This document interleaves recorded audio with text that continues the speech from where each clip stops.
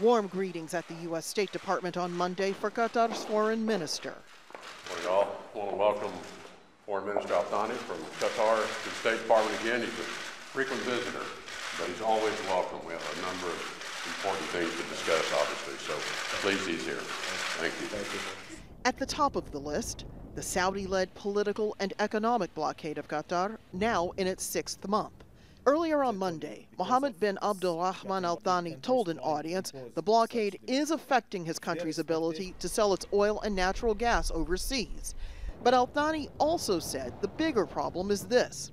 By launching the blockade, the Saudis, the Emiratis, the Bahrainis, and the Egyptians have made the Middle East more unstable. Regional players are acting irresponsibly, taking political gamble with the lives of other nations' citizens with no exit strategy.